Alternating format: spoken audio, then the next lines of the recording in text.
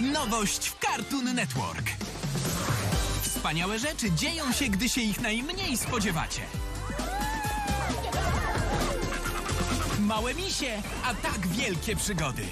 Nowy serial między nami misiaczkami wkrótce w Cartoon Network.